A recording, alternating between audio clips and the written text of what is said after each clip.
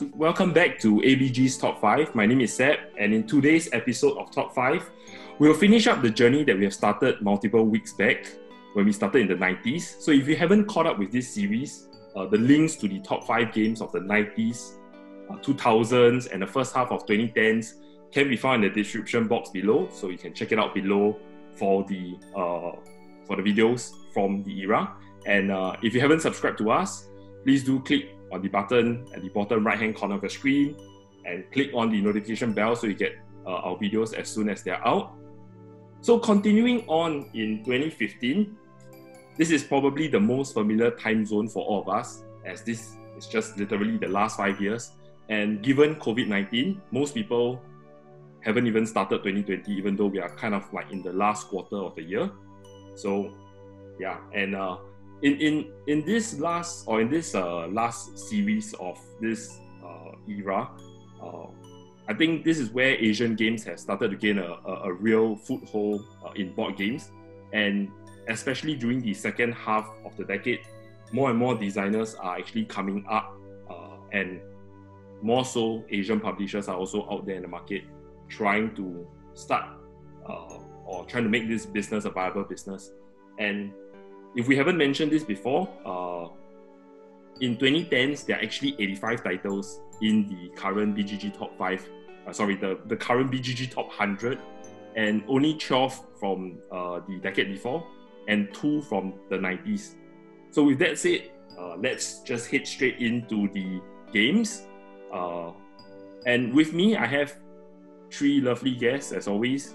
Uh, two of them you have seen throughout the entire series. And one, you probably will find him familiar uh, on YouTube and in our previous video. So, first we have uh, Jeffrey, our top five recurring guest. You see him in every episode of Top 5. Hi.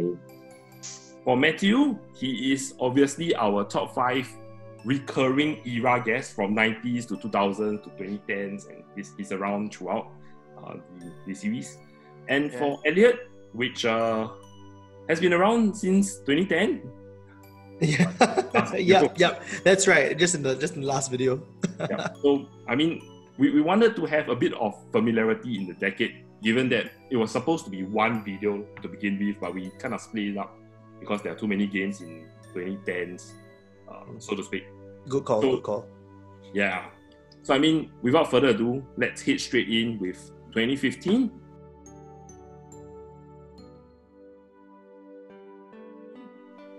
So in 2015, uh, we have quite a number of entries, uh, and we'll start off with Elliot's 2015.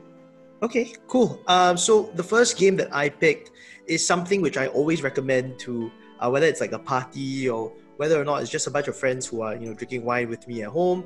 Uh, and I play quite a fair bit with my family actually because my family size isn't huge. It's like uh, six of us who are living in this current house. So uh, my title is uh, Codenames. So it's very fun, very easy to teach. It's very good for family bonding because you will end up bickering, you will end up like just like laughing, shouting, everything with each other. Uh, so generally what it is, it's almost like a game, uh, as, as the name suggests, it's a game of you trying to hint towards other players without saying the thing itself. Think of it like an evolved version of, like I see it as an evolved version of uh, a game like Taboo, right? You're split into two teams and the objective of, of uh, there's a person who gives the code uh, and knows like the answer key and he needs his fellow teammates uh, to pick out the right words on the table. It's just it's just grid lah. it's a, a I think a four by four uh, no a five by five grid on the table yeah. And each of them have like different colored words. Now the trick here is that some words are for the red team and some words are for the blue team depending on which team you're on there are squares that are blanks, so that means you can't score points if your teammates choose that particular word. Um, and there's one one very special square, the black square, that if you pick it, your team instantly, yeah, it's it's it's a loss for you. lah. So the idea is you must never ever say or never ever suggest and hint towards your teammates to pick the black one. Uh, think about it this way: it's a good game to test your vocabulary and to test like, the idea of synonyms and the power of suggestion. There are a lot of games that came out in this in this particular decade, things like Mysterium, uh, uh, which I also really much enjoy, where it's all about mind reading and trying to understand personality, but as an educational component, and, and that's why I really really enjoy. Uh, my pick for this year 2015 Codenames. Right. So I think we, I'm, I'm surprised we don't actually have a crossover. Nice. Codename Yeah. you know, in Jeffrey's top five games under 30 minutes, and link is up there somewhere. You can actually find it. I'm gonna link to the video of top five games under 30 minutes. If you want a quick game, do catch that video. And Codenames definitely is a game that you can play in a quick time, Mhm. as quick as someone finding the spy master. Yeah, yeah, you just find the Spy Master. The, the cool thing about Codenames, I think, across the years is that they made a lot of different spin off versions as well. So if there is a particular theme that you're interested in, you can always uh, try to procure a version. Like, I think there's a Marvel one that's floating around now. So pretty There's solid. pictures, there's Marvel. There's Yeah, yeah, yeah. It's, it's really, it's really fun. Really easy. Hmm. All right, so let's head straight to uh, Jeffrey's 2015 pick. He didn't pick Codenames, so let's guess what it is. All right. Okay, so my 2015 pick is one of my favorite tile placement game. Uh, that will be Isle of Skye. So for Isle of Skye, uh, the rule is simple. Okay, in each round, players will have to auction two tiles. Okay, and then uh, in turn based, each player will also get to purchase um, one one of the other player's tile. All right. So after that one round, okay, if nobody buys your tile, you get to spend it yourself, and then you start placing tiles. And each round you get to earn points according to the objective stated at the center board. Alright, so the end of the game, whoever got the most points wins. So what I like about this game right, is there is replayability, especially the objectives to score points. So you know that uh, you can have you know some challenging ones, uh, you can some uh, easier ones along the game. Yeah, so so it makes it also allows you to plan ahead. For example, you know, round one you score it this way, round two you score it the other way, and you can actually see how it is scored for the future rounds. That's that is why you can actually plan it ahead uh, and make good decisions according to which um, house you want to buy or which tips, uh, which house do you want to purchase it yourself, and therefore you have to offer a higher price so that you know um, you deter people from buying a house. So there are some strategies, there are some there are some replayability, and there are a lot of considerations according to you know um, various situations, uh, you know that crucial how you want, etc. And in the other videos, uh, I do recommend the the expansions as well. Yeah, so uh, I do recommend start with the base game and then get expansion. Right, it is still available online. So if you're uh, if you're interested in this game, you know uh, why not get the base and expansion together. Yeah, so that's my 2015 pick, Isle of Skye. And next up, we'll be moving on to Matthew's double pick for 20. Yes. Wow, you have two picks. Uh. That's, that's awesome. Yeah, I've got two picks. So Nice. the first was something that I mentioned uh, for top five games under 30 minutes. Uh, the game is called Stir Fry 18. Uh, just a quick recap. Uh, the game only consists of 18 cards, right? Uh, and in the game, basically everybody are chefs and they are trying to basically cook dishes. So during your turn, you basically have a set of cards, and what you're trying to do is you're trying to discard cards to actually gain more cards, so you can uh, create the most expensive, or rather the dish that gives you the most number of points. Now, uh, there are a few conditions. So number one, uh, when discarding cards, you either need to discard pairs, or you need to discard a special ingredient. So the special ingredient, if I'm correct, is pork, chicken, or prawns, right? Uh, the other thing is that when you are actually cooking dishes, you you must have anywhere between three to five cards. They must be unique, and they must at least have noodles. So there's kind of like a lot of strategies in terms of how you either discard cards or how you actually form your hand, right? Um, as like any bluffing game, uh, you can actually lie about what you discard. so and when people catch you correctly, you know the person who lies, you know they lose penalty. Um, but whoever catches wrongly, they also have some form of penalty as well. Again, love it um, because of its bluffing elements, and yeah, that's my first entry for 2015. Uh, Stir Fry 18. yeah. Okay, and the second entry is called Mafia de Cuba. So in this game, um, as the name suggests, basically everybody's all like part of the mafia, and there's the Godfather. So what happens is that the Godfather actually has a box, and he actually goes around uh, the different people to pick out whatever that is inside the box. So inside the box there can be chips, and there can be uh, jewels as well. Um, as the so one of the rules that when it's your turn, when you receive the box, you either can take jewels, which means you are siding with the evil side who is against the Godfather, right? Or you can actually pick out uh, chips. So the chips basically contains roles uh, for players to adopt. So maybe like for example, they are the mafia's henchmen, they can be the police, and I, if I'm correct, there's also a taxi driver. And once everything is passed around, and it comes back to the Godfather, the Godfather will see, oh no, there's all these things that are have gone missing, and what he needs to do is because his jewels have actually been circulated around, he needs to communicate with everybody in the game, you know, such that he's able to point out who are the people who are against the Godfather and to actually retrieve back the jewels. So after the first round, where everything is being passed around, uh, there will be a lot of um, in Singapore context, we like call it as talking cock.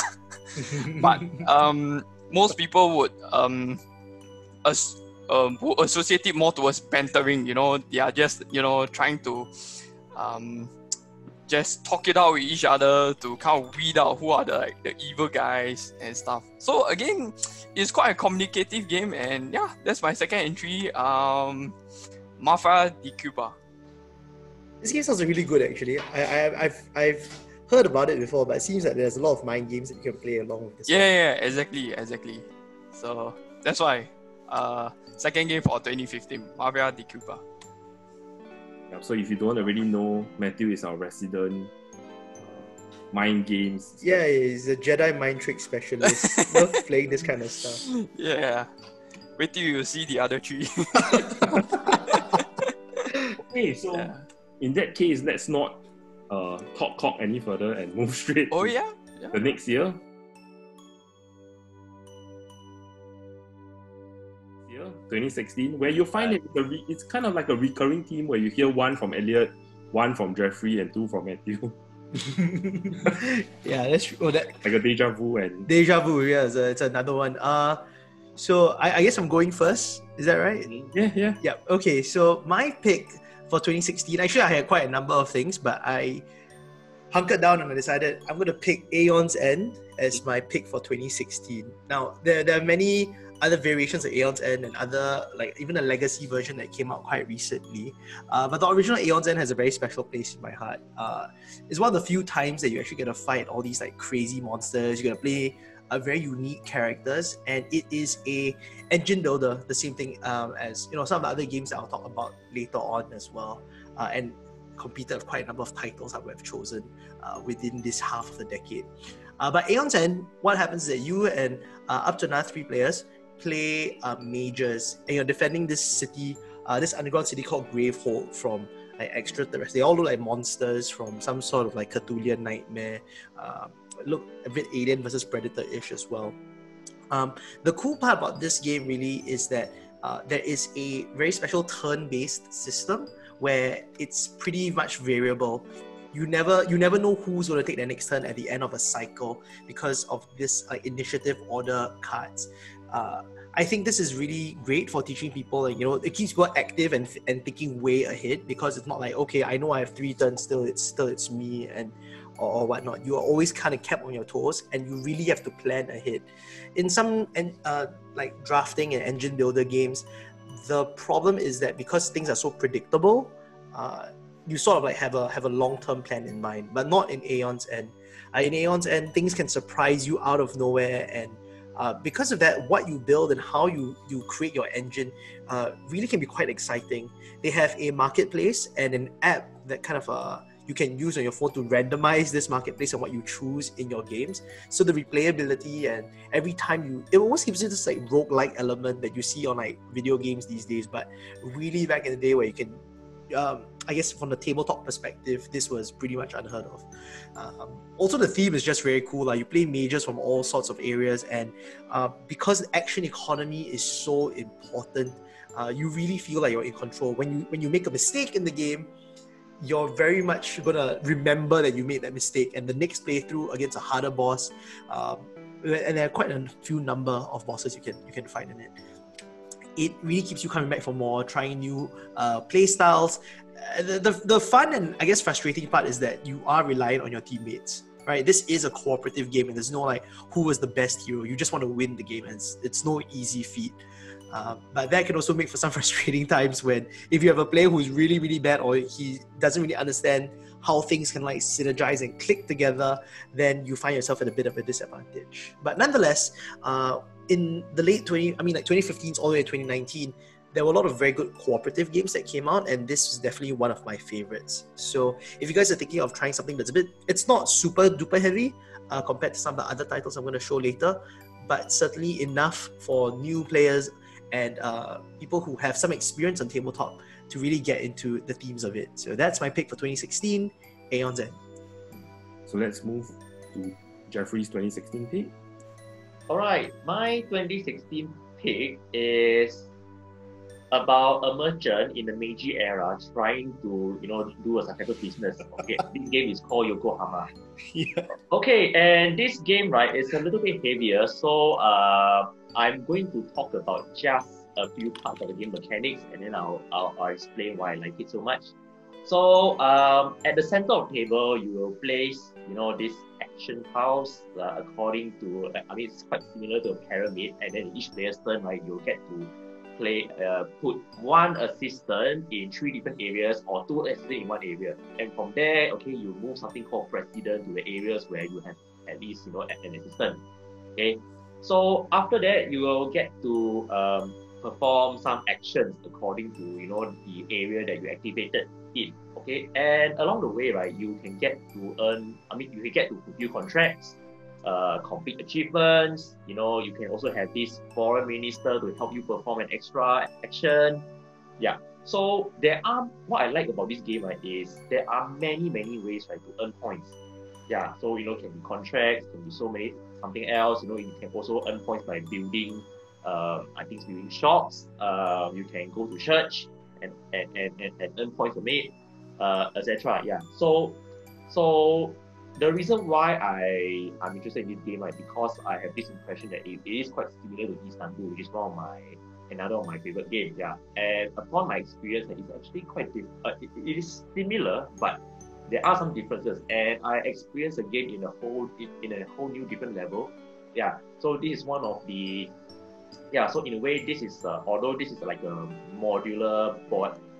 Uh, it's a modular board game, okay, yeah, and there are some, you know, um, building involved. Yeah, but I find that you know this is a good planning game, also a good planning arcade game, and it is also it, it is also very exciting to play with your opponents. Yeah, because you know they are also uh, you know doing their best to earn as many points, and you know they are basically fighting uh, in a way to score the most points. Yeah, so it's it's a good planning game. Although it's heavy, it's a good planning game and it's quite exciting to play. So I enjoy this game a lot. So that's my 2016 pick, Yokohama.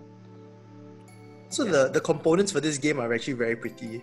Like I remember I played Yokohama some some time back and the it had some really cute meeples. I think the art and the, the tokens are all very nice very Yeah. nice to, to, to fiddle around with. So Yeah, And this is the first Asian game Yokohama. Mm, yes. among among the list so far. nice, nice, Mm. nice. Yeah, this is my first. Yeah, this is our first Asian game. Hisashi Hayashi. Mm. All right. Next up, we'll get Matthew to share his double pick again. Yeah. All right. Well, Uh, last because after this you won't hear so much from Matthew. yeah. Um, okay, so the first of the 2016 games, right, that I actually have, uh, the first is actually called Not Alone. So what happened in this game? Uh, it's uh, okay. So basically, the good guys is basically everybody else, and the bad guy is just one person, right? So it's uh, basically aliens trying to uh, destroy human life form, you know, as they are traveling towards their planet. So what happens in the game is that um, in the center of the map, there's basically five different locations in which the humans can travel. And basically, the humans they can travel to whichever uh, of the locations they want uh, that they can go. But what they are trying to do is because the alien is also trying to go to any of these places to actually uh, reduce the health of humans, you know, as, as they go to the area. So uh, again, the mind games comes from, you know, the alien is trying to guess where the humans are, and the humans are actually trying to fool where the aliens is. So a, as the game progresses, there are certain locations which allows you to actually gain uh, to have access to other locations as well. So the starting locations you have is five, but the total area is ten. Yeah, and in each of the different areas, there's basically a lot of abilities. Um, humans, they will also have like special cards in which they, they can play against the alien. The alien, every round, he has also special cards in which they can use against the human. And basically, it's just that little race to see uh, which side wins in general. Uh, again, I've already explained about the mind games component. So, yeah, that's the first, uh, which is not alone. Yeah, and I played this with Matthew on Board Game Arena. What are your thoughts about the game? Well, I bought the game, so so you bought it. yeah, I bought the game. Nice. I mean, it's, it's it's a game that I, I mean, it's not it's, it's not in my pick yet because I haven't played enough to choose it as a as a top five favorite game. But uh, I think it plays well at various player counts. Mm. Yeah. So and and for a game that is this size, which you can see from my face and, and how big this box is, you can play up to seven players, and it's not and, and it, it has the deep gameplay. So I I think Mm. it's a really good game, not just for the mind elements of the mind, the thinking elements of it, but more of the fact that it's it's, it's kind of like uh I- I don't know how to describe it. It's it's, it's I don't like horror theme, but I, I, I bought it. So Seems like the kind of stuff I might be interested in. I, I might Yeah. take a take a gander at it. yeah, so yeah, so Mm. I mean it's I, I feel I feel that it's, it's, it's, it's really a good game. We played it I think three times. Yeah, be, before we knocked off for the night. Yeah, and I It decided was- to buy it after the three It, it was fun stuff. Uh. Yeah. Yeah, it's, it's, it's a good game. lah. It's really a good Mm. Okay, so the second game will be a game that is familiar to most. Uh, the game is called Secret Hitler. Yeah. Mm. So as like any social deduction game, uh, basically there's the good guys and the bad guys, um, and so in, in the game, how um, so after they know their roles, right? So basically there will be like the president, and there will be the chancellor. So so everybody takes turns to be the presidents, by the way. So the president uh, will basically appoint a chancellor. So basically, um, what the chancellor does is they will have like three different uh, bills to pass. Some are good, some are bad. So uh, the president takes chooses one to discard of the three, and then the chancellor does the same thing, as in discards one, and whatever that's left is being passed. So like choosing a chancellor is very important, and therefore everybody goes into a vote. So eventually everybody will keep doing this until either side actually meets their objective. Um, now, because this is a game that most of you know how to play, so won't really elaborate too much. Again, the mind games come from trying to figure out who is like the good guys and who is the bad guys, and try to figure out the intentions of what other people are doing. Uh, another thing to note is sometimes there may be situations where, you know, maybe uh, the bad guys receive three positive, uh, good bills you know, that's helping the good guys. So, you know, they have no choice. And then, of course, vice versa. There can be three bad bills, which the good guys will be like, oh, you know, I actually, I, yeah. so, uh, again, quite mind gamey. Uh, Secret Hitler 2016.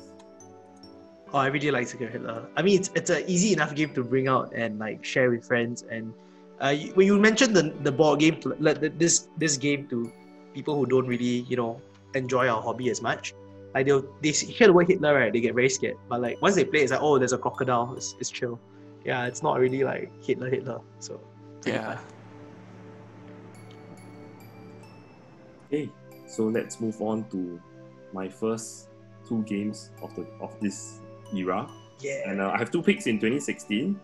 And the first of my uh, two picks Uh, it's a game that uh, I think most people would know because they won international awards for it. And the first game is Kingdomino. So in Kingdomino, basically you are a lord seeking new land and you're trying to expand your kingdom. And you start off with this little nice, cute little uh, king looking meeple on, on one tile. And essentially it's a tile placement game such that you actually uh, take tiles and you actually expand the territory, scoring points that way. Uh, one aspect I, I really like about the game is the fact that if you actually choose uh, stronger tiles, which are usually the tiles with the higher numbers, you actually will be disadvantaged when you select your next tile because the, the mechanism of the tile selection comes in the form of if you actually pick the lower number, you essentially will get your tile first and you can actually have your pick on the next kind of four tiles on on, on, on table uh, when you actually see them coming up because you actually go first in terms of uh, placing your your other uh, king meeple to actually collect the tiles in. So in, in the, the game itself, you actually win by scoring the most points and points are not just simply uh, connecting the dominoes, you actually have to connect dominoes with crowns on them. So it's, it's like a multiplier in terms of how many crowns you have in a connected area of, let's say, uh, forest or uh, wheatland or the ocean. And with that, you can actually then score the amount points. And if you actually manage to put it in a exact five by five uh, situation, because there are rules on how you can actually place the dominoes in, you have to match one element to the other. Where the middle, uh, the original tile that you start off with is like a joker tile.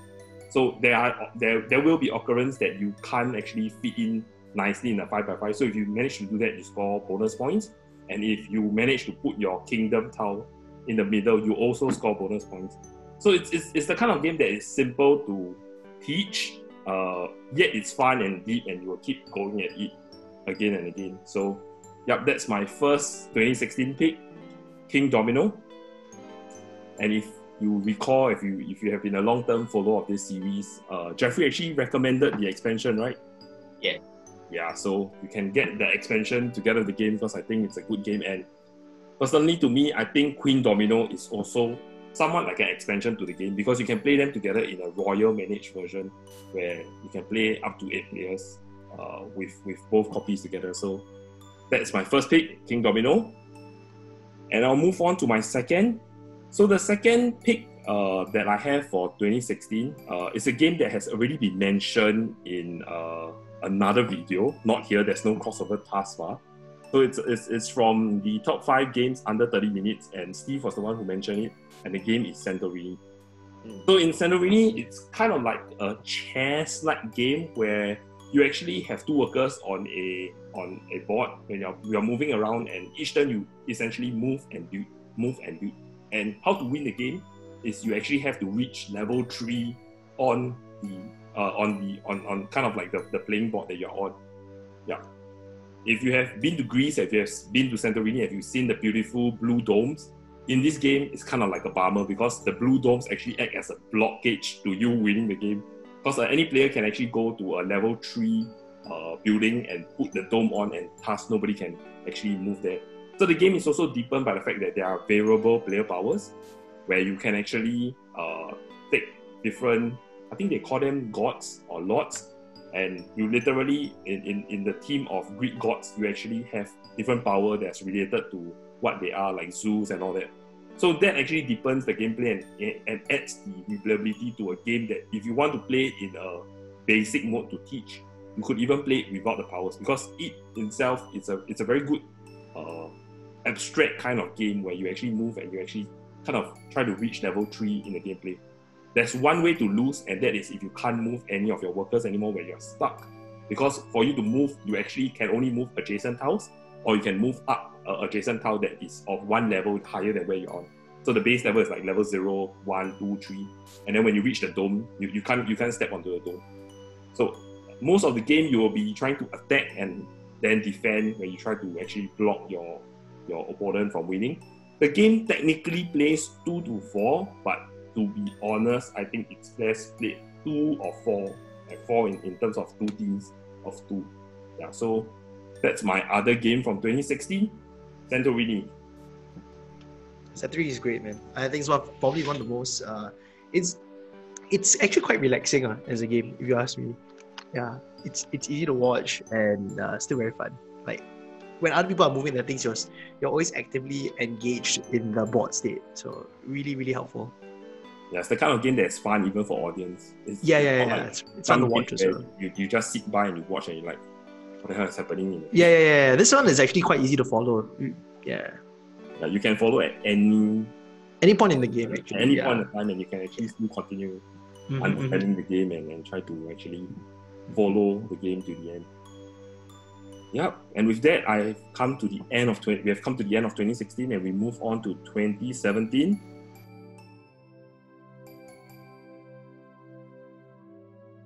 And for 2017, we have two two double entries from both Elliot and Geoffrey. So we let Elliot start off first. I suspect I smell crossover, but I don't May- think, yeah. maybe, maybe. Actually, Uh, well, I have one really heavy one and one really light one. So I'll start with the one that I think is slightly lighter first, uh, which is one of my favorites. I still play it very often with uh, with my wife. It's called Azul. So Azul is very it's it's a very beautiful game because you have to uh, pick a bunch of tiles from the centerpiece and you're basically trying to build uh, like decorative tiles as like a little pattern. Uh, but the, the trick is that you know it's obviously a, a small a small pool that you pick for, and you're trying to just pick these supplies. Uh, if you can build things nicely according to the rules, then great, you score a bunch of points. But there are a lot of times when you can kind of like sabotage people, and then they they have to pick things which are unfavorable. These wasted supplies convert into uh, you losing points, or it harms your score, lah, generally speaking. Uh, now, this game is very easy to teach people. Um, it's also very very cute because all the colors are very nice and bright. Yeah, actually, there's another title in in this year which I had to kind of like flip flop around uh, with, but uh, Azul was the, the the pick that I went for in terms of something that's aesthetically very beautiful, but gameplay wise also, I think can be quite in depth the more you play with uh, with other people. Right, the first time you play it, you're gonna make a lot of mistakes, as with most of these kind of like drafting games. Um, but everything kind of makes sense in Azul to me, and, and that's the beauty of, of such a game. It's not weighted very high, and the box isn't like tremendously huge, uh, but it's something which can kind of like doing yoga. You can really just play and, and chill. There's no fighting because it's not like a dexterous game or whatever. It's it's you trying to build something uh, in front, patterns wise, and even if you don't score points, right, it still looks really great. Like whatever's in front of you just looks really great. Uh, I, I can't recommend it enough for people who want to try something a little bit more um, casual, so to speak, but you will start to develop like mental faculties to tackle uh, this genre of games. So this is a good entry point, if you ask me. And that's my first pick for 2017 called Azul. I only Yeah. have one problem Yeah. with Azul. for Azul, right, uh, to me, right, this is uh, okay. To me, Azul, right, is a good game to sabotage others for Yeah. some reason. Okay, the the, the, the, the best way to sabotage others is to have leftovers, Yeah, a lot of leftovers. yeah. Yeah, and in fact, I want to shout out uh, two more games for Azul, right? Is uh, there's, there's a second version of Azul or second game, it's a second title called the uh, Stained Glass of Sintra. Okay, and then there's a third title called the Summer Pavilion. Yeah. So uh, I played all the Azul versions before, and I also highly recommend the other two as well. Cool, cool, cool. Sam, what was the issue you had with uh, with Azul? I mean, coming from Singapore, the, the, the, the, main problem I have with Azul is the starting player is the last player who has been to Portugal. Oh yeah, yeah, I'm like, I was- when I was thinking yeah, yeah, That's the rules. Okay, I mean, if, if you're from that part of the world, fine, you are. Portugal is like next to your country and it's like it's a neighboring country. You can Mhm. probably get on a, a, cheap flight and, and fly there and you've been to Portugal. but from Singapore, it's impossible. Portugal is way, way far away. so far, so far. Yeah, I mean, Yeah. there's probably only direct flights maybe to Lisbon, I think. I don't know. Man. Oh yeah, yeah, yeah. No, you're absolutely correct. I mean, I've never been there myself, but uh, I've been wanting to go for a long while. Yeah, Uh, so if yeah. none of us have been to Portugal, who starts first? Nah, I'm just, just. uh, so that's my that was my first pick. Uh, my second pick is a lot heavier. In fact, probably one of the heaviest games I've I've I've played, but I, I still want to continue playing. Okay, so just disclaimer, I don't have a copy of this game anymore. Kind of gave it away, which I'm very upset about. But uh, it's a game called Too Many Bones. I don't know if you guys have heard of Too Many Bones. Um, it's it's really a massive a massive undertaking. It's not cheap, and I can't really find a copy of it anymore. Uh, but it's a it's pretty quite a special genre to me. It's like a dice builder RPG. Uh, now, to explain the essence of what Too Many Bones is, it's like an action adventure thing where you and your friends are going up uh, on, on, a, on a series of tasks so that you can fight against like this uh, evil tyrant. Uh, kind of like Aeon's End, but extremely complicated. Uh, what you're gonna do is that there are almost like a hundred plus like unique dice in this set, which are skill dice, and you're gonna be building your character according to um, the tasks at hand. That seems like you know you could just have replaced it with cards right? Well no. Uh, there are so many variations of how you want to play this and it's not uh, a straightforward like uh, this is the optimal path because there are things like luck and chance that as with a lot of dice games the reason why they're dice is because there must be an element of uh, of risk and reward involved uh, one thing i like about this is that it's very flavorful i think all the bad guys and like um, are little narrative components in the game so if you're into really like the role playing aspects uh, it can be quite immersive if that's your kind of thing. Um, and these storylines that occur throughout your gameplay actually have consequences. So they're usually related to like acquiring skill dice or you know losing uh, skill dice or you know having little setbacks. End of the day, there's just so many components, so it can be quite intimidating for some. And the game itself minimally, I think for me, usually lasts about anywhere between like 70 to 80 minutes. La. So it's not something you're just going to pop out. You're going to need like friends who are willing to clear the entire It's not a legacy style game, uh, but you definitely have to commit to playing with every single variation because they all have uh, quite quite unique builds. In fact, the characters that are provided in the base set, um, they really play very differently. Like you can actually the the, the game board for each character um, is quite unique. They have little dice slots for you to put in, and then they have like little leveling up paths as well. Uh, I, I enjoy it because you know me and my friends, when you're thinking of playing RPGs in this day and age, it can be quite tiring. Like I play a lot of D and D, and that requires a lot of time commitment. Think of this as a shortened down like dungeon crawler where you can kind of like knock it out in a in an afternoon, maybe like two or three of, of three of these. Um, so yeah, that is my 2017 pick uh, called Too Many Bones. I'm going to volunteer myself to play with you, but you mentioned you don't have a copy of it. Yeah, no, I, I gave my copy away to a friend who is in the States, and you know, they, they, they haven't been back for like the past five years. so, and the funny thing is, they probably can get a copy of it easier. exactly. that, that's what irks me the most. They played it at my place and they were like, "Hey, I really, really like this game. Do you mind if I if I borrow it for a while?" I said, "Yeah, sure, sure, sure." And it never came back. So yeah. Yeah. but the, the way you describe it actually reminds me of another game that is even simpler. Oh, really? Okay, okay.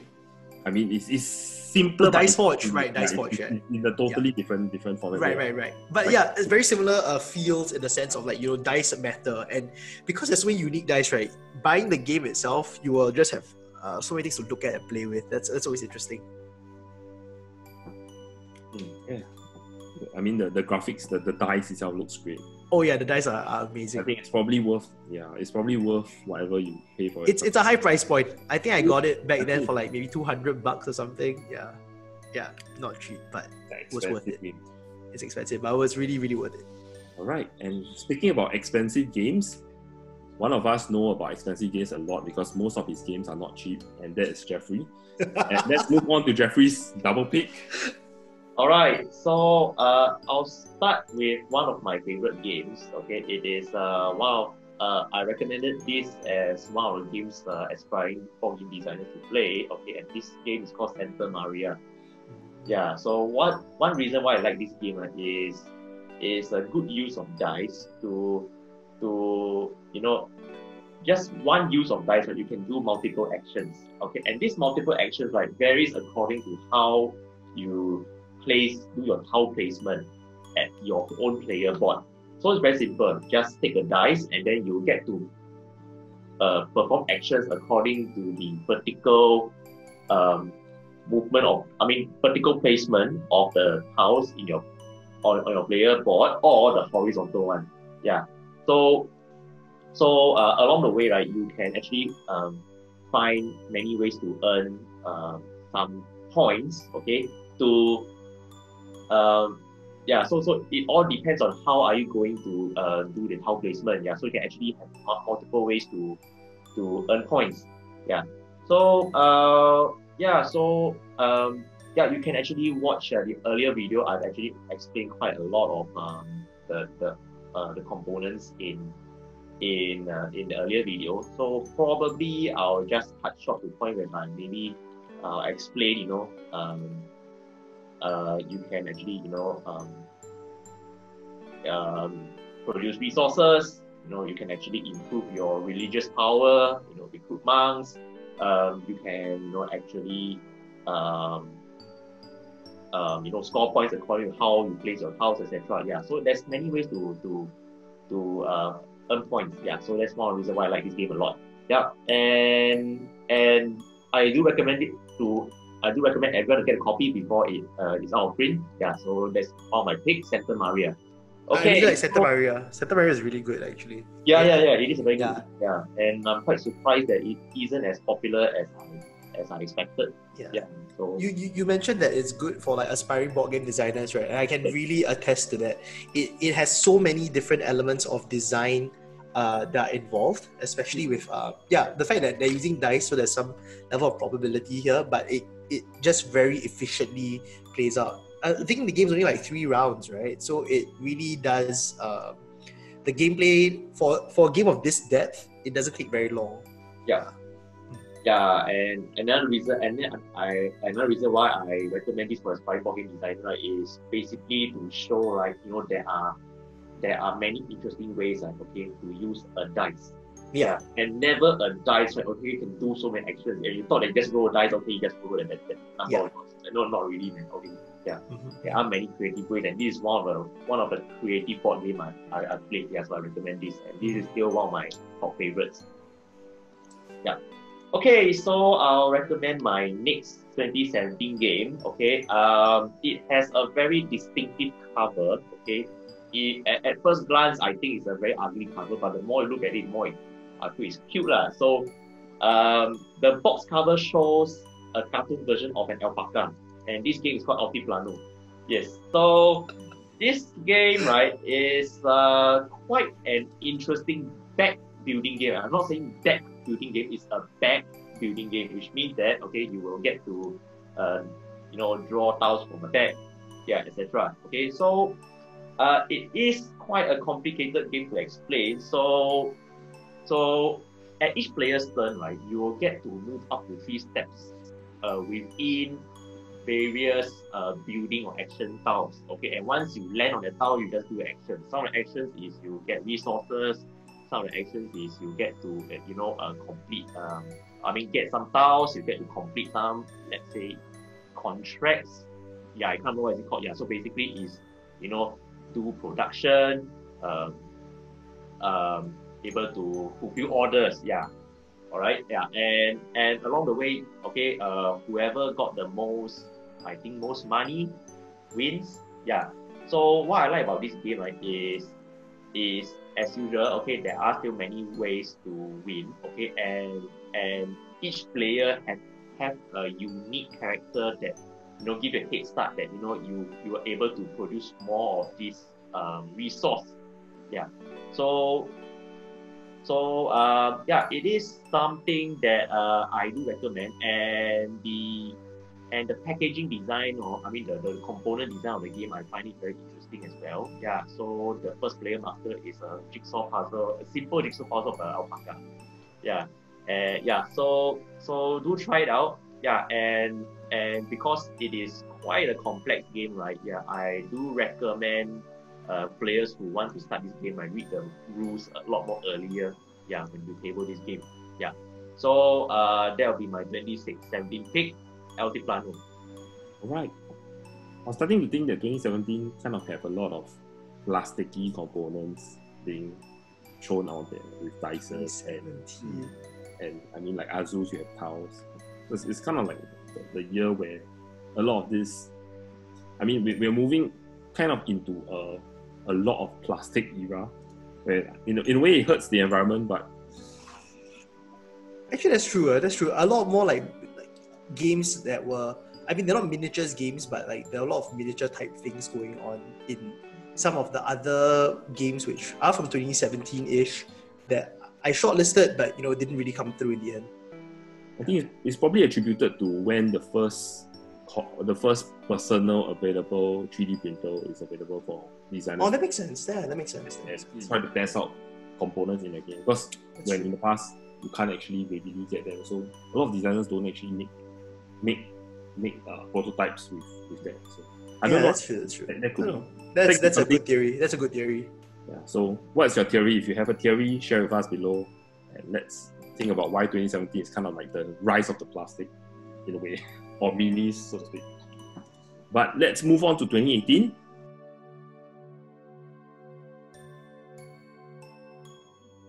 And in 2018, we will start off with uh, we have three picks actually uh, in 2018.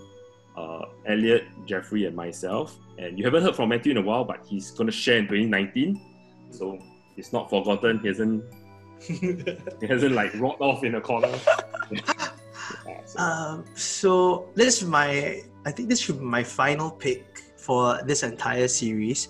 Um, the one that I picked last is actually also a pretty heavy game. Surprisingly, usually I'm not into um, super heavy games, but uh, the ones I picked so far, I think, especially in this past five years, uh, the thematics of it usually are very cool, and some of the gameplay mechanics also I think uh, something like break the mold and it kind of shapes what we think as like modernly developed uh, tabletop games. Mm. So my 2018 pick is called Root.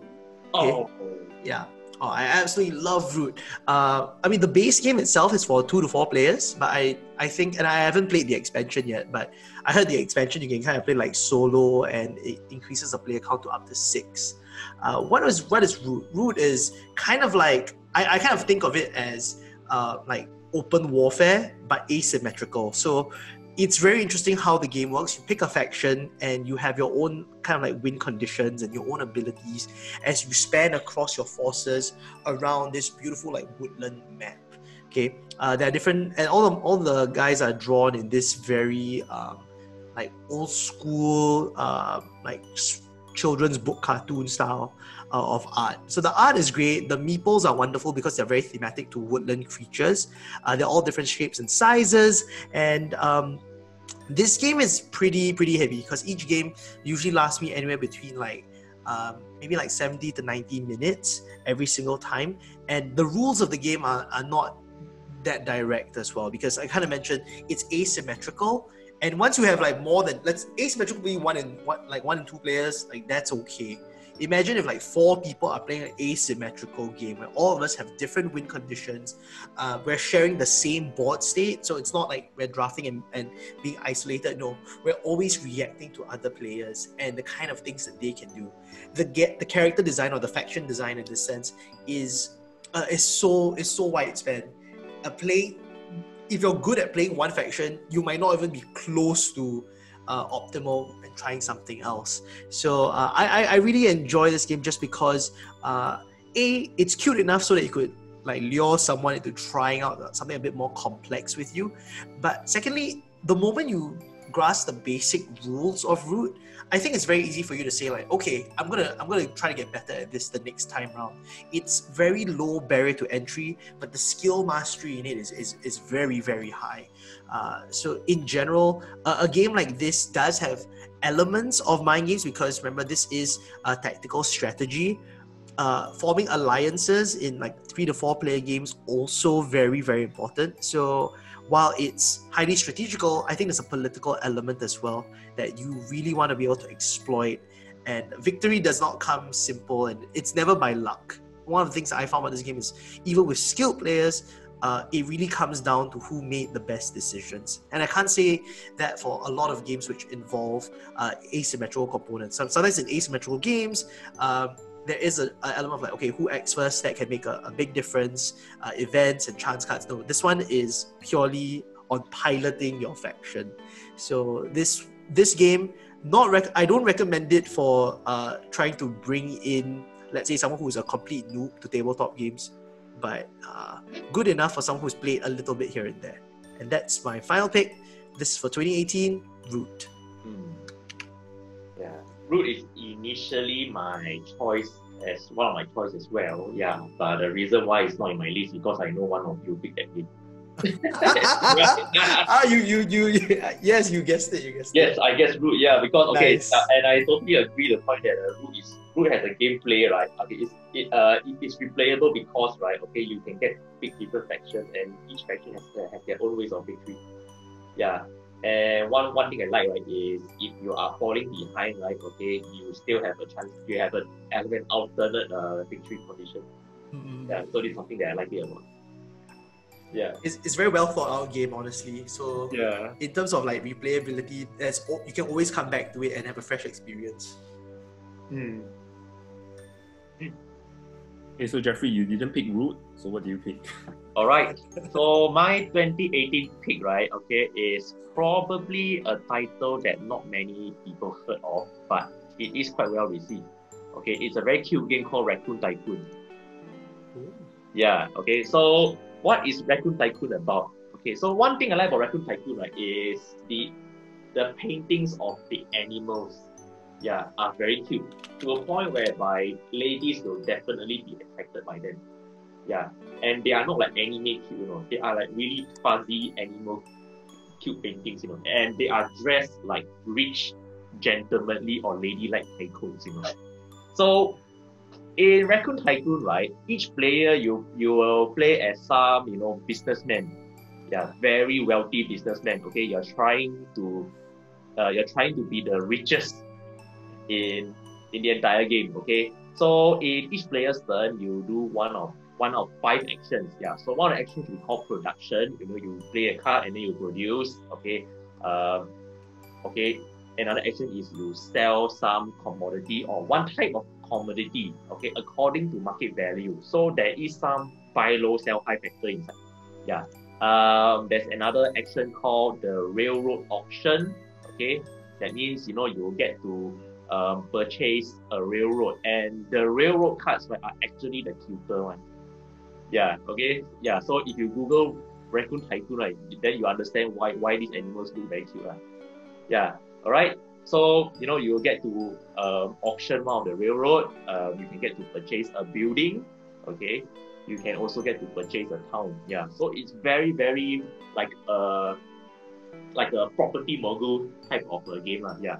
But but it's but you know they are using uh, cute animals to to uh, as a as a theme. Uh. Okay. So so uh, it is one of a very enjoyable economic game uh, that I ever played uh, during, during, that, during that era. Okay, so because there's auction involved, there's commodity, uh, there's no speculation in terms of commodity prices. You know, um, there are set collection involved. Um, yeah, so basically, it's a game where you you notice how the market works. It's an ever-changing market. Yeah, so I sound like a business analy- an, an, an, analysis, right? Okay, but but it is still a cute game. So thematic wise, okay, the gameplay wise, okay, it surprises me. So I'll recommend this game for my 2018 Raccoon Tycoon. Okay. So the last of the 2018 is my pick, and uh, this is actually kind of a genre that become more and more popular as the as the decade uh, comes to an end, and that is actually roll and write games. And I'm actually quite surprised. So far, I think 16 games in, we haven't have we haven't had a single roll and write yet. Maybe because it's more of a 2018, 2019, and even 2020 kind of kind of trend where you have more and more roll and writes. So the game that I've picked uh, is an Asian game. Uh, the game title is probably one of the cutest title you have around, and the, the name of the game is Let's Make a Bus Route. Oh, So in Let's Make a Bus Route, you actually owe you are you you kind of each player control a bus company in the city of Kyoto, and you are trying to create bus lines to ferry uh, students, elderly, tourists, commuters around the city, while trying to avoid traffic jams. So each player have a board where uh, instead of it being roll and write with dice, uh, there will be a deck of cards where where you flip colors, and the, the colors actually mean different things to different players. So, for example, blue card may mean moving forward straight one block. To another player, it could be moving, uh, uh, making a turn, or to a third player, it may be you have to make two turns. So, in, in a way, you're kind of forced what you have to do. And typically my biggest gripes with roll and write is that there's zero play interaction. You play your game, I play my game. We are just writing on our own board. But in Let's Make a Bus Route, we are sharing a board and the play interaction is there in the form that you are trying to avoid the jam because they score you penalties. I mean, obviously, if you you are building a bus route and you actually create a jam out of it, it's going to be negative uh, uh, outlash from the public against your bus company. Where you have why do you have four bus companies going through one same route? You'll be thinking, is that is that necessary? Especially if it's a it's, it's part it's a part of the town where it's not popular or you don't actually need so many buses there. So as, as a game, I, I actually enjoy it more in the sense of it being a flip and right or roll and write, but you actually do retain that player interaction, and individually you actually have uh, an alternate uh, uh, or, or, kind of like a bonus card where you score points based on certain criteria that you have, while everybody actually has the standard criteria to meet, like any roll and right, because you have a board that everybody can see what the objectives are and where you are heading. So to me, if you are looking for a roll and write in this day and age, and you want a roll and write that has player interaction, yeah, let's make a bus route is your game. So that's my 2018 pick. Let's make a bus route. Hmm. Yeah. Okay. Actually, one uh, one maybe fun some fun fact about uh, Saashi and Saashi, right? Yeah, I mean they are the designers of the game. Right? Saashi and Saashi, they are actually a couple it's not a single person. Yeah. So um, the husband is a game designer while the wife is the illustrator. Yeah. So which is why right all their games uh, look the same in terms of the graphic style. Mm-mm. Yeah. And uh, I actually bought the game directly from them. Uh, there was once they actually came to Singapore to promote their games. Uh, one is uh, Let's Make a Bus Route. The other one is the uh, In Front of Elevators. Yeah. And in fact, I bought Let's Make a Bus Route from them, and I got a signed copy from them as well. Yeah. So so yeah, so uh, and also one interesting fact about um, the couple right is they know how to speak Mandarin. They actually learn Chinese. Yeah. Solid. Solid. I met them and I don't I don't know them. So the funny thing is I've been to Japan last year and I bought a lot of the games from Japan. I didn't buy it from them, but Mm. then I met them in Singapore after that. Uh, so the funny thing is that most people in Singapore will have a will have a signed copy of In Front of the Elevators and Let's Make a Route because you probably met them maybe at GameStart or at uh, board game uh, Asian Board Game Festival. But I have a signed copy of uh, another of their game, which suddenly has slipped my mind. It's the coffee game, uh, Blend Coffee Lab, and they're wondering how the hell they had the game because they're not selling it. I was like, oh, I've just been to Japan. I just came back from Japan.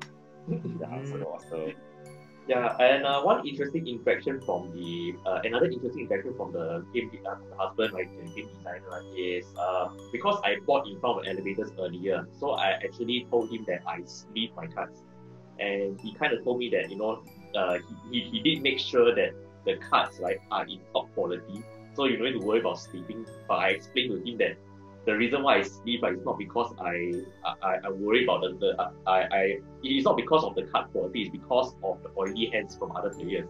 so yeah, so it doesn't matter, you know, um, whether the quality of the card is good or not, because the oil will still stick. So uh, that's why I prefer uh, uh, sleeping my cards. Yeah. So so so yeah, I have this interesting conversation about card sleeves and and and you know quality of cards uh, with, with the game designer.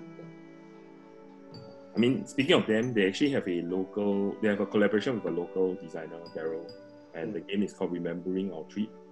Uh, Remember Our Trip. So that game actually kind of take the best elements of uh, Let's Make a Bus Route and the best elements of Overbook, so to speak, and create a game. So I ha- I haven't actually played the game that many times to list it in my top five. Thus, it not making my top five, so it's not appearing in 2019. Don't think about it; it's not there. But yeah, so yeah, but that, that's another game to actually look out for if you like similar concepts of of uh, of flip and write or flip and place kind of uh, game. Mm. Okay, I think we've dwelt in 2018 longer than we needed to, and we have deprived Matthew of speaking for the longest time, and his last pick actually is in 2019.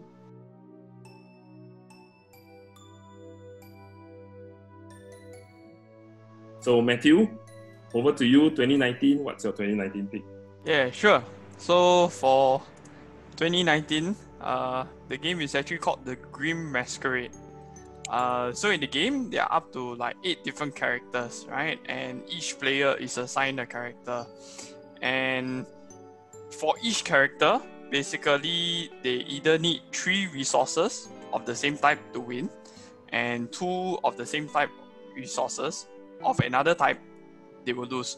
So, uh, I mean, just example, just off the head, maybe Cinderella, if she gets uh, three glass slippers, she wins. If she gets two, uh, if I'm correct, candy, then she loses, right? So in the game, you know, so everybody has all their characters, right? And everybody is all um, hidden, all concealed, right? So during a player's turn, they will actually draw a card from the deck, right? And basically the deck has like eight different types of resources.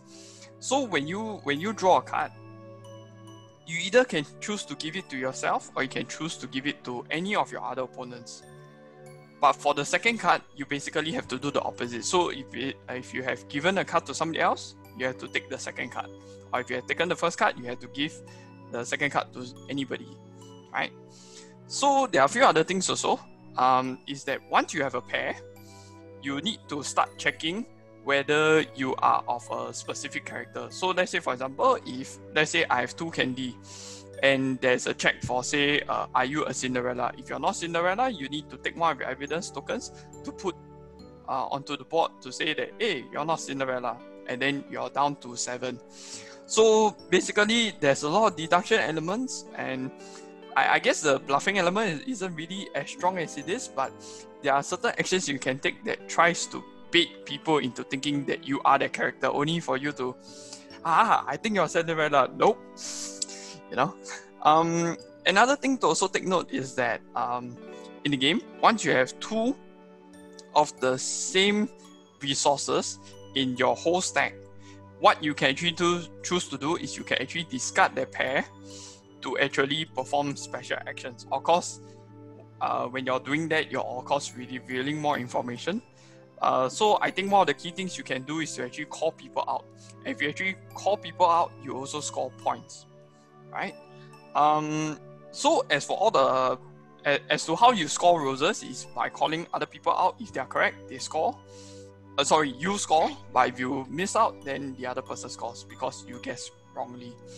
Uh, the other way of earning roses is that, uh, which are your points, is being the last player left in the game, as in for the round. Uh, so after three rounds, uh, whoever there's most number of points or roses wins.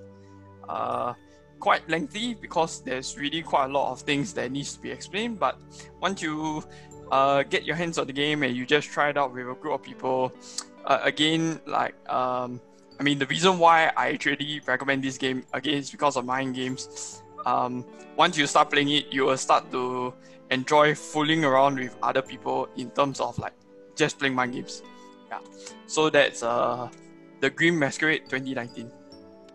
Alright, sticking true to his mind game genre, the games that he enjoyed the most. So I think, actually, to be honest, out of out of the whole 90s, 2000, 2010s, how many games do you pick that are not mind games? it's okay. I'll, I'll tabulate these statistics later. but I think I, I think a good 95%, maybe 90 to 95% are mind games. Yeah, it's around there. It's around there. genre that he really enjoyed. Okay, so talking about 2019, so I have the final two picks uh, in this whole series, so I'll be rounding it off. And my two picks are actually two. Uh, it's, a, it's, a, it's a double pick from Asia, and it happens that both games are actually from Taiwan. Mm. So the first of my two pick is a game that kind of replaces another game that I really like. So there was supposed to be a game that if I had a top 10, it would have appeared, and that game was Quadropolis. Because it appeared in 2016, but this game kind of replaces Quadropolis' position in my heart when it came out. So the game of the, the name of the game, uh, I mean, like what Quadropolis is being a city builder, it's also a police kind of game, and the name of the game is Electropolis. So in Electropolis, uh, it's a game where you're you're trying to uh, put tiles into a board, and for every for in the board, you start off with negative points. Every space is a negative tile. Yeah, and you are trying to put things in to actually score points. And depending on what kind of power stations you put where, it scores you different points. So because uh, it being Electropolis, it's all about generating power, and the, the element that I really like about this game, I'm not going to dwell so much about what this game, uh, the gameplay is, because I'm sure you can read the rules, and uh, I, I'll just be telling you what I really like about this game, is that it's one of it, it started kind of like a trend or a, a, a, a team in Taiwan specifically where they try to make board games that are related to the environment. Because the, the there is one negative counter uh, where it actually records your pollutions that you actually create in the kind of like in the environment. So most games you play where there are city builders, you don't actually think of the negative effect of what you're what you're placing in affects the environment. But this is one of the first few games that at least games that I played off that actually had this as a theme that they actually want to encourage and they talk about it.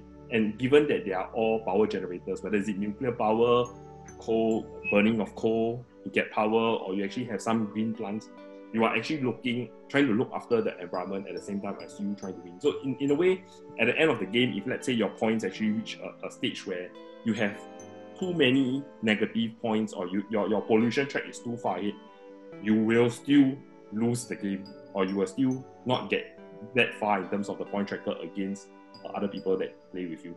So one other element that I really like uh, about this game is how you actually pick to go first in a round because it actually took elements of another game that I really enjoy, which is Five Tribes, in terms of you trying to kind of beat for where you're going. And being at different location actually affects uh, what kind of tiles you can take in because the tiles are actually just scattered around uh, this uh, kind of the starting uh, bidding tracker and you actually collect tiles adjacent to each other. So when someone actually takes tiles away, the tiles actually join up, which means that tiles that you originally wanted to take that were not together could be together by the time you take it. So that kind of is a very interesting concept that I, at least to me, I, I haven't seen many games do that. Yeah, and that together with the fact that it's, it's one of the few board games that think about the environment. I mean, even though the, our hobby is all about creating more plastics and creating more cardboards and creating more papers, but yeah, uh, it's, it's really a it's really a game that actually strikes me to my heart, and it's a city builder, and it's a kind of game that I really like. So the first of my two picks, Electropolis. So the second game, uh, it's I think I kind of cheated a little bit because the original version of this game, uh, I, I, mean, it came out in 2015, so technically it's still in the same video space because we're talking about 2015 to 2019. And uh, the name of this game is Dadaocheng second edition, where it came out in 2019, because the game is actually different versus the first edition. So in this, uh, in Chen, you are actually a uh, trader. You are trying to actually uh, become the most prestigious trader uh, of Dadaocheng. And what you're actually doing is flipping these various discs that you actually have in this uh, huge game board, where you are trying to actually match up and collect uh, tokens, or you're actually trying to collect resource uh, so that you can actually place it in your own player board. So in a way, it's, it's a very uh, it's, it's a game where you are kind of solo in terms of what you're doing and where all your player interaction coming is in that central board because what you are actually doing will affect the next player when the player actually flips down. Yeah, and you, the, the thing I really like about it is because you will spend, I won't say hours, but you'll spend a lot of time staring at the tile board to try to find combos to make it happen. Uh, so, uh, if you if you were to liken it to something like Bejeweled maybe, where you're actually trying to connect things and then when things fall into place, they, they actually combo with each other and you clear different things at the same time. You can do that with that option.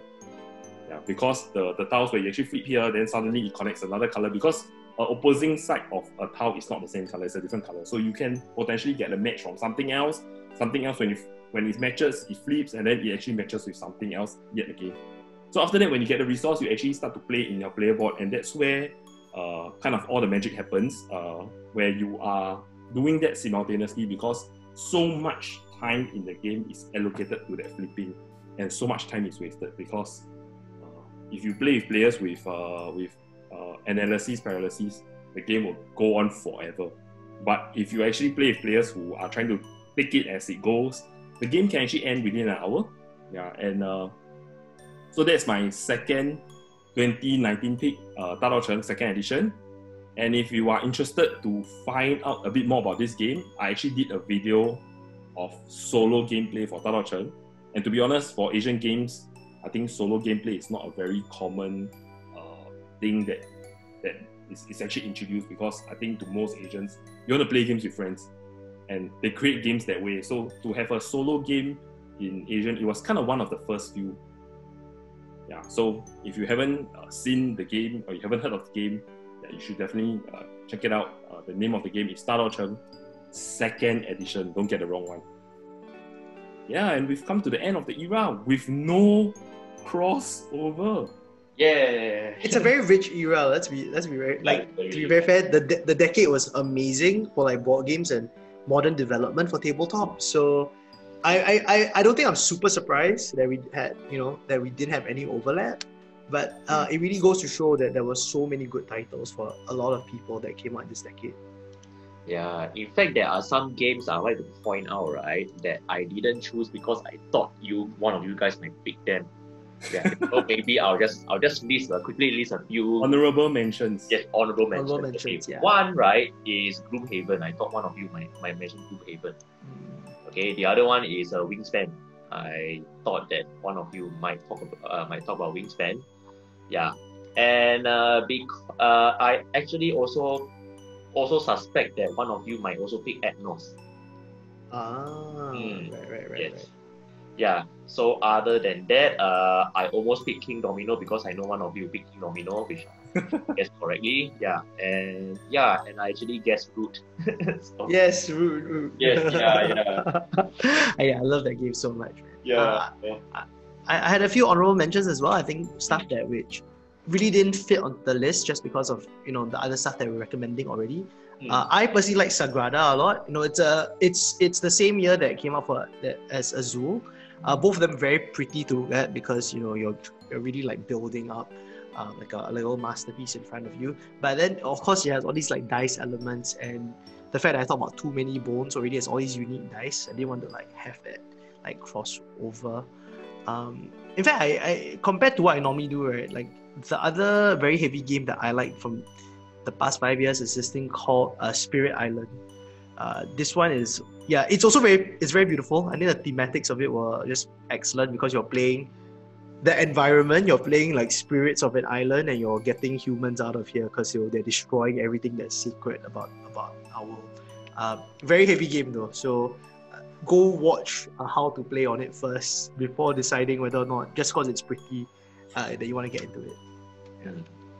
If I were to pick an Asian game, I so uh, I mean so far, although I have Yokohama, if I pick another Asian game, uh, that would be Tulip Bubble, which I have also mentioned. Oh yeah, yeah, yeah, yeah. Yes, Tulip Bubble is a good. good game, which I actually, uh, I actually flew to Osaka to get it. Wow. Okay. cool, cool, cool. Sick. Yeah. Actually, I think honorable mentions for me would be the uh, Century series. Mm. Yeah. To me, to be honest, if you ask me between Century Spice Road and Splendor, most people would take them as substitutes. To Mm, me, it kind of are different games. mm, mm, Even though the, the, the concept of it doesn't seem too dissimilar. But Mm. one, you actually change cubes or you change spices from one to another, and the other one, they're kind of what it is. You can't change them to other things other than the one. Mm, mm, mm. So to me, uh, Century, the Century series was the uh, was a honorable mention. Other than that, I already mentioned about uh, Quadropolis. Uh, I was close to actually picking Moonbase. Oh, Moonbase is pretty because good. it's a it's it's it's it's a it's an interesting abstract game. I bought the game, and then when I first played, I was mind blown. Mm, mm. But the, problem is because it, it only plays two, so I, I didn't actually have a lot of opportunities to play Yeah. that with many people. Yeah, Mhm. So uh, it, it kind of fall down the list. Uh, Yeah. One other game that uh, I thought one of you may pick was Teotihuacan. For the fact of what you can do with dice. Yeah, Teotihuacan is, is also a game that I, I really enjoy a lot, but uh, haven't played enough to make the list Right. yeah and i think other than other than those that i mentioned earlier of course there were games that i already mentioned before like Point Salad but in in a way I don't Spot know for what- choice, uh. Yeah, we're Yeah. very spot for choice We, we are really spoiled for choice in this Yeah. in these five years where there are really so many so many games and Yeah. i thought one of you would have picked uh, Scythe Yeah, I, I think I think Sky- yeah, Scythe is like uh, I mean for heavy. That's why you know like usually Geoffrey like picks Yeah. pretty heavy games. I, I would imagine that Skylight was on the list, but uh, and Wingspan also like I thought one of these few games would be like on our list, but surprisingly, I guess because they're very mainstream also lah, in terms of like how good they are. And for this series, we really wanted to talk about our favorite top fives that we could recommend to others that might not be so popularly known. Yeah. The reason why I picked Scythe, right, because compared to my other game choices, right, uh, it does it tried to sell itself as a war game, but it doesn't. The gameplay doesn't. It doesn't play like a war game. Yeah. That's yes. True. Yeah. That's So true. which is why, which is why, uh, I mean, I I enjoy Scythe a lot. Yeah. But uh, Yeah. but yeah, I mean, probably that's the reason why I didn't put it in my top five. Yeah. Yeah. Compared to my other games. Yeah, I mean, compared to something like Root, for example, I see Root as more war game ish than something Yes. like Scythe for me. You know. Yeah. Yes. Yeah, and I mean, other than those, one other game that I, I really enjoy and I didn't manage to put it in is the Grizzled. Mm. For the fact of the, I, I think it's one of the few games where it actually shows me that cards, I mean, card being counted as life is not, it's not, it's not a new thing. But the fact that you really feel that demoralized when you play the game because you're going through war, every one of us feels it when we play the game. So it, it- it's, it's that interesting where you actually really go into a war mode and you're trying to just get through the war and you're like feeling down, feeling like you see your morale really dropping. Like the it literally drops the morale of the table when you see the cards dropping. Yeah, that, I mean to me is yeah. If, if you actually have a game that can do that to all the players in the table, probably a very good game. Yeah. yeah so Grizzled was was one of the few that I really like and and if I had top ten, it would have made the list. Matthew, you have any yourself that you almost made the list? That almost made your list? Actually, I was struggling with my list to even get five because the genre of of games, I, I, I think it basically went down, man. And uh, I, I mean, it's it's it's a it's a it's a good problem, my own opinion, right? Where people who love to play like mind gameish games are now starting to appreciate higher strategy level ish games. Uh, so that's why you know you guys are sport for choice. Whereas for me, I'm like, okay, I'm looking for you know party friendly ish and the mind gaming ish. I'm like, I think in a Yeah. way for the, for the games that you enjoy, right? In in these five years, a lot of the games actually remade itself. Kind of. oh, okay, Like things They like had yeah. I mean, like all social deduction game actually re, a lot of a lot of the old social deduction game actually remade and actually like real Mm, uh, Werewords, uh, even games like Avalon, they kind of re re-emerge itself. I don't know, man, to the to Right, right, age right. gamers, uh, Mm, and showing itself yet again that it's still holding its holding its Mm. position. in- Moving on, mm, yeah. mm, mm. But I mean, staying true to the essence of you know this whole uh, uh, Zoom recording. You know, I I try to get like original titles that were created in the years 2015 to 2019. Mm, Yeah. Solid, solid. I think it was a good list. This this one was really a, a very good recap of what uh, I think people were playing in the past five years and stuff that we can. Thankfully, the things that we're recommending, you can still get a hold of them because not all of them are out of print. In fact, I think most of our games are still circulating uh, at some way, in some way, shape, or form. You know, compared to let's say talk about stuff in the '90s, right? That one might be just a little bit out of reach. ah. Mm. Actually, I, I was quite surprised for for Matthew. He didn't pick Werewords. I thought that was Werewords, ah. Uh, I, I would attribute it as more like a, uh, uh, I don't know, like a English language games because you're dealing with words, right? So, yeah, English language game. Okay, yeah. okay. So, so yeah. That was okay, cool. So for Geoffrey and Matthew, if I'm going to make you list out like the top three games of all time, will you pick from these 20 games from these four videos that you have made? I, I mean, for, personally, for me, my top five is already pretty much the top three. I- lah. I will rather I will rather compete like how to say uh, the next few videos probably come up with something else really. Uh. Yeah, if not, you're going to pick the same Uh. I'm, I'm not going to come up with top five games of all time. I, I'm, I'm not going to make you do that video, man. It's, it's, it's going to be a. It's going to be like a copy and paste already. Uh. Yeah. So, so yeah. I, uh, I mean, if you notice, right, how, how I explain Santa Maria, I like, I like, I like, shall I explain again? yeah, you know, yeah. So so yeah. Then I think I also mentioned again quite a number of times already. Yeah. So so so yeah. So I think also try to avoid something that is very copy and paste. Mm. I mean, in, in a way, to be honest, when we when we first created this series, it was purely attributed to COVID and Yeah, I understand. to meet people. So to be honest, content was at its minimal. So I, I really respect the guys from from Dice Tower who can come up with top ten videos of so many different type of genre and the fact that most of their games are not repeated. It also it also, it also shows what what repertoire of games they have played. lah. Mm. Five or six or seven thousand games that they have played. Maybe once or twice and then they pick listing some of those. Maybe Mm. I can suggest like one next topic, right? Maybe it's like you know, uh, for example, uh, top five games where you have no expectation but turn out good. Something like that.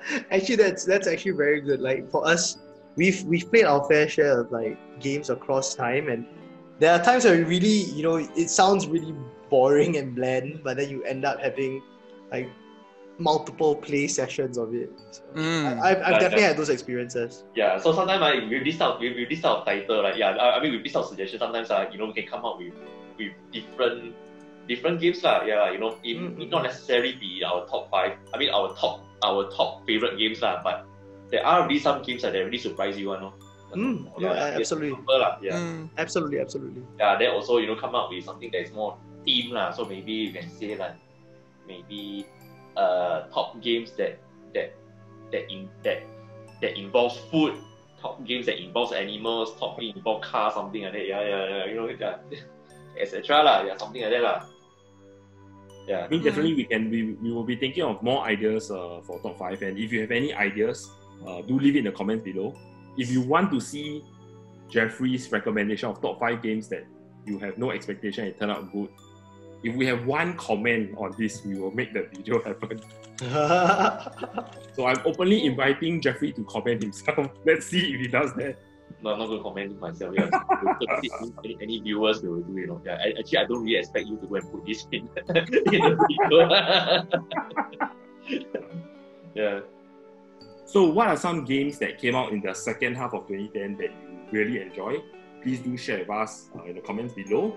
If you enjoy videos like this top 5 series, uh, do also comment below to share with us what are other top 5 uh, videos that you like to see. I mean, Geoffrey have just mentioned a few moments ago, maybe thinking about teams or food or, you know, animals or cars. Yeah, if you have any ideas, do share it with us because we'll greatly want to do what you actually want to watch. And uh, if you haven't subscribed to us, the subscribe button is right there at the bottom right hand corner of the screen. Do click it. Do share these videos uh, with your friends who actually enjoy uh, watching or trying to find out more games that are out there. Because to be honest, a lot of the times we'll be actually making these videos, we actually learn about some board games that we probably wouldn't encounter in our own circle. Yeah. Whereas crossing ideas like that, we actually gain more out of it as well. Yeah, do give this video a like if you really enjoyed it. And more of our videos are at the site. And thank you for watching. We'll see you again. See you soon. Yeah. Thank you. Bye. Bye. Bye.